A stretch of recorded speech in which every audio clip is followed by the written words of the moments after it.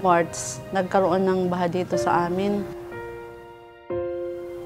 Ang yung tubig, umabot doon sa mga books. So yung ibang books nag, na damage.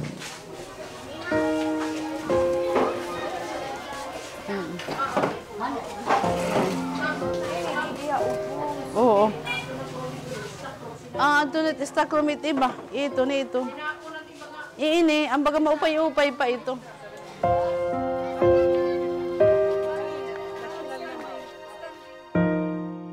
One time, may communication kaming na-receive na merong bisita na mag-o-orient regarding Check My School.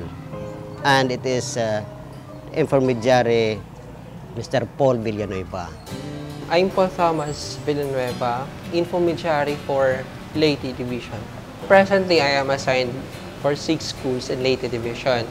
Um, I have two schools in Santa Fe, Leyte, two schools in Alang-Alang, Leyte, and two schools in Haro, Leyte. I first stopped the GPTA asking for their commitment for their sense of volunteerism for Check School.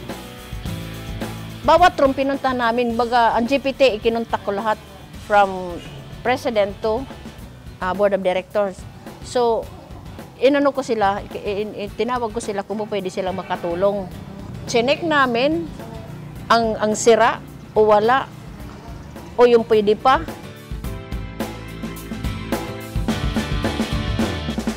In the field, what we did is uh, we get some information from the school and we put them into online platform of the Check My School, which is the Check My School website.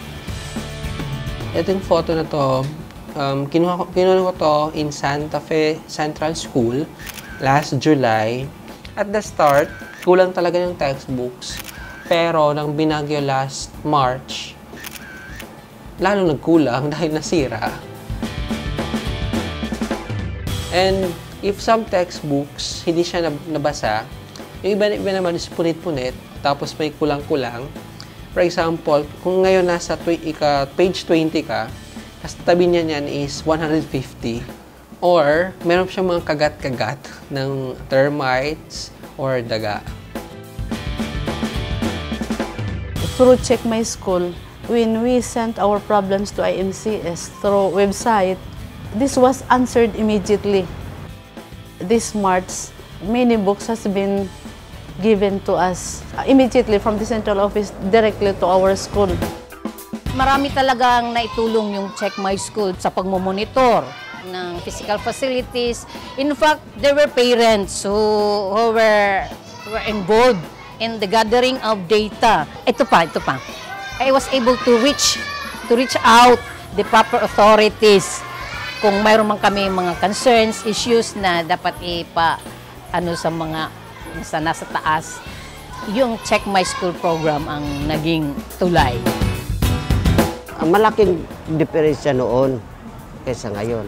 Kasi ngayon nga, pagdating ng internet, lahat ng, ng problema nalalaman ka agad doon sa kinaukulan.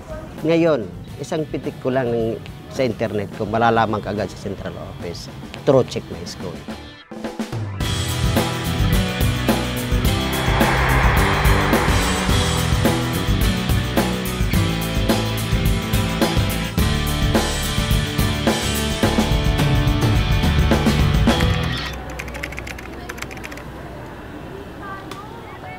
Sa lahat ng mga school na pinasok ko, na tinarget ko, pinaliwanag ko naman sa kanila kung ano ang ano ng check my school.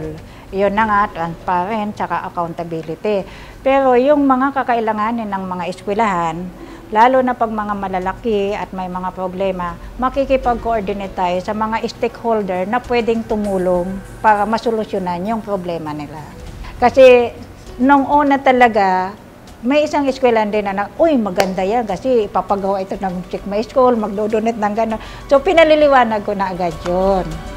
Uh, when I first heard it, something negative came into my mind because check my school means the school will be checked and not knowing that uh, you are just doing it to find out, to check what the school needs, Okay, so when she asked me, Mom, what is your priority project in this school? And I said, you know, we have a comfort room at the second floor of the old building, which is not functional. For us um, in our school, we have a problem in um, toilets. We have a population of 5,000 students, uh, mixed boys and girls. And we have only uh, two toilets. marami po yung sira, tapos hindi po maayos yung flush. Yung ilan po sa mga estudyante nagkakaroon po ng sakit na UTI kasi po minsan kapag sobrang naiihi na po sila, pinipigilan na lang po kanila. Ah, base sa experience ko, dahil 10 years na naging PT president ako ng Siledonyo, so marami kami mga rene-request na ang pinakamabilis na approve nila, isang taon. Minsan naman, pag minalas ka, nagpalit na ng principal, nakailang termino na si PT president, hindi pa na-actionan yung mga request namin. Pero itong nangyari sa atin, dahil sa Chick May School, a week lang ang naging ano, ang naging action nila. They asked me if I want to be a volunteer of Check My School and I said yes. It- It's a part of my duty as a student to help to help my school in um, checking our facilities, our books, um, and it's a part of our obligation as a student. Nagtali po kami ng mga mga books, yung mga chairs, tapos yung numbers po kung ilan, tapos ilan po yung ayos, ilan po yung pwede pang gamitin, ganun po.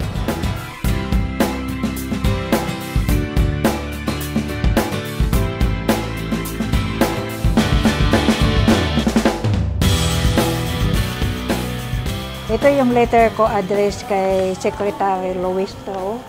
To Dr. Ponciano Mingito, uh, Manila Superintendent. Uh, pina-receive ko November 28, 2011. Ito tungkol sa pagre-request ko ng mga eskwelahan. Ito yung naka-attach ko na school na subject for repair, renovation. Tapos ah, may nag-action po yung si Dr. Mengito and first endorsement niya December 7, 2011. Ah, ini-refer muna niya doon sa physical facilities ng School Engineering Division sa DepEd, sa Meralco.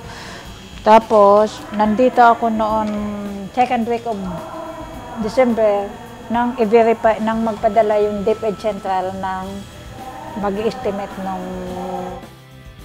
pumunta dito. Nandito din ako nung time na yon. Kaya nung di January, nung mag-verify ako sa ano, ito, na ano na, na, na may action. Ah, January 17 pala yung subject for bidding nila. Nakalagay na dito yung opening ng bidding, tapos yung scope of work, saka yung project amount, total amount. So ito, ito yun, ito yun sa Arroyo. So ang budget ng Arroyo, 1,136,259. Nag-start yung construction, parang kung di ako nagkakamali, last week ng February o first week ng March.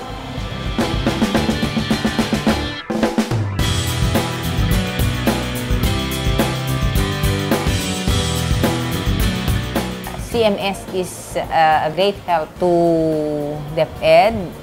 Like for example, in our case, our comfort room was newly uh, renovated. Our students are very glad that they can now use the second floor. Uh, check my school. I think it's uh, it's a, a big help, a great help to uh, especially the public schools, not only in Manila but all over, I think, the country.